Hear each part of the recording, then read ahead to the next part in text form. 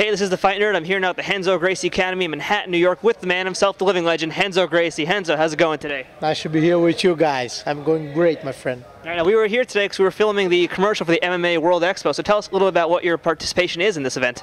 For a moment, I thought that this was a horror show because you have such an ugly model on this commercial. First time I heard that.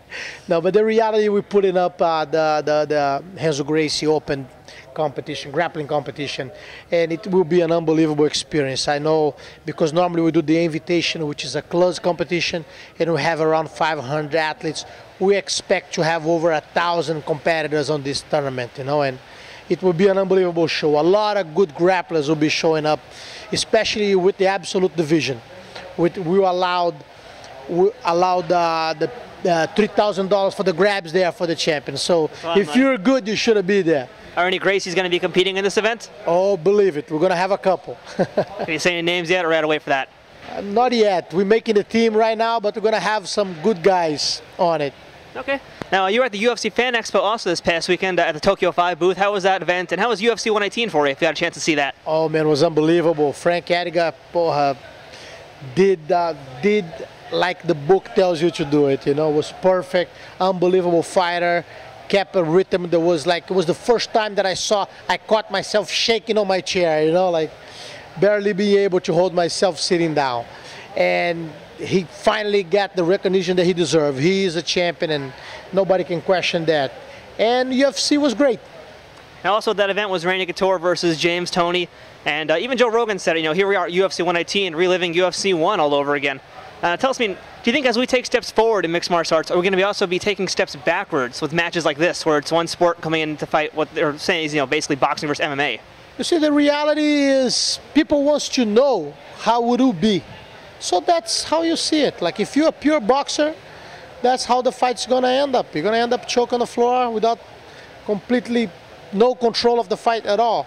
And that show, even though Randy was much smaller and you know, he was much more efficient than actually just a pure boxer. And if you ask about comparing styles, the MMA fighter has a huge advantage over any boxer.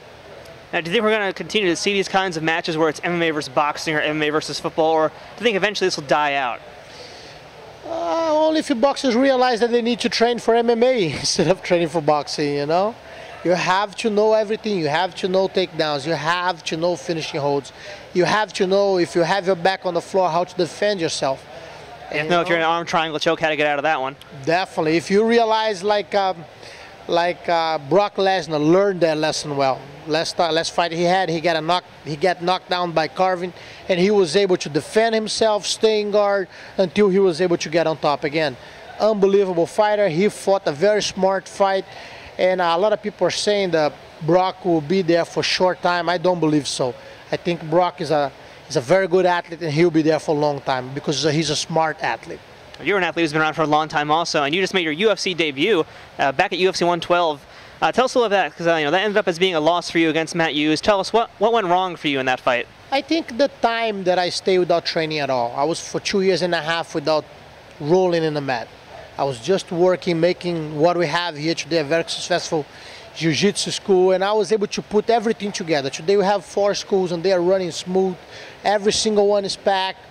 And in order to do that, I had to sacrifice my training, and that's I end up paying for that, you know. And but I think I did very good, especially for the fact that I was fighting a very strong fighter who tried to avoid completely the grappling aspect of the fight with me. Oddly enough, for some reason. Yes, and I, I just didn't have the endurance because I lost 40 pounds and I trained only for six months to be able to to get in there. And it wasn't I realized there wasn't time enough. I felt myself very weak physically and you know, but uh, I was fighting a tough guy. I wasn't getting a, a Joe out of the corner to right. beat him up, you know. In reality, I got the tough, one of the toughest guys out there, and I was very glad how the fight went you know, and it was a very good learning experience. And I'm going to be able to pass to all my students and all the people that, that train with me.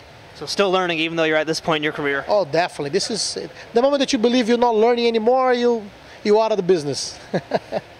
All right, now also uh, Ricardo Almeida recently fought Matt Hughes and also ended up being on the losing end. Uh, I don't know if you were training, helping him train for that fight. Um, what was your analysis of that fight? I think uh, Lady Luck was sitting on Matt's lap. That's what happened. you know, like Ricardo was moving in a way that I never seen before. He was training so hard, and that fight for sure was him. If you ask me, I would bet everything I had on him. And but unfortunately, MMA is a surprise box every single time. Yeah. All that he needs is to land a, a punch with that small glove that goes through your defense. Even though Ricardo's hand was in perfect position, the punch just went right through to his jaw. And when he realized he was being choked on the floor and he was out, you know. So welcome to MMA. Never bet on it. Now, you mentioned uh, training and having other things in between this Matt Hughes fight. Uh, how is it different for you for training for fights now as opposed to about 10 years ago, let's say? to me it's much harder. 10 years ago I didn't have the many worries that I have. If I gave you my bills to pay for one month, I can't afford my bills. Why are you giving me yours too? oh, my friend, if I give you that, you understand. No more hair will be sticking on your head. You know, so I, I was able to put a lot of stuff together that in a very solid way that I hope it will last forever. In the reality, I will see my grandkids running my business and and teaching jiu-jitsu, you know. And thanks to that, I had to sacrifice my career a little bit as a fighter. You know, it's you have to understand. I've been doing this since I was 15 years old, 14 years old. That I've been competing I was born. in a very yes, in a very professional way, and like you you can't expect me to be in the top of the game until I'm 50. You know. So sometimes I'll be fine, sometimes I'll be a little off, but one thing is for sure, like for the quality of jiu-jitsu that I have, I'm always a dangerous opponent when I'm in there. You know, so nobody can take me lightly and nobody should make bets against me because I always have a shot. I never do. Now, I want to ask you a little bit about some of the Japanese MMA promotions, since there's a lot of trouble these days with the MMA companies over there, like Dream, K1, a little bit Sengoku. Uh, do you think these Japanese companies are going to survive, these big ones, or is it going to be the end of it for them? I really think they should have been more professional. The way that they run things and the way that they do it, they should have learned more from the Americans. They had the opportunity before, and they didn't do it. You know, I think that's what is taking a huge toll in the in the Japanese industry. Even though Japan has the most hardcore fan have ever seen in your life, you know, like uh, every arena that I fought there was 50, 60,000 people on it. You know, like a 30,000 was considered a small crowd watching an event.